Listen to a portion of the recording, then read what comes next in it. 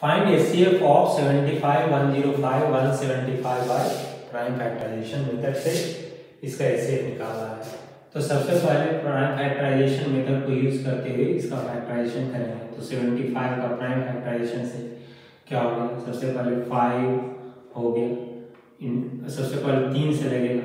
The smallest prime number which will divide it's three three into five into five ये हो गया। One zero five का prime factorization क्या था? Three हो गया, ये हो गया thirty five then five into seven ये हो गया। उसी तरह वन सेवेंटी फाइव का प्राइम फैक्टराइजेशन क्या हो जाएगा?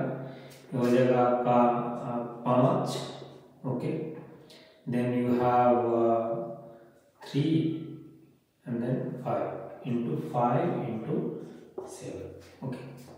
तो प्राइम फैक्टराइजेशन से हो गया।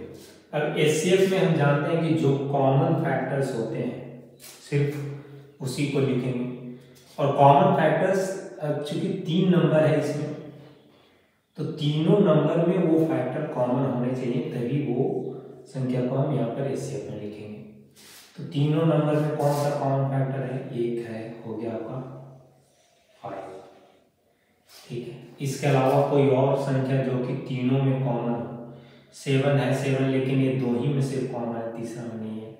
किसी और का तीनों में बन रहा है? नहीं, ये फाइव है, लेकिन ये सिर्फ़ दो ही में है। एक और फाइव नहीं है इसमें। उसी तरह तीन, ये सिर्फ़ दो ही में है।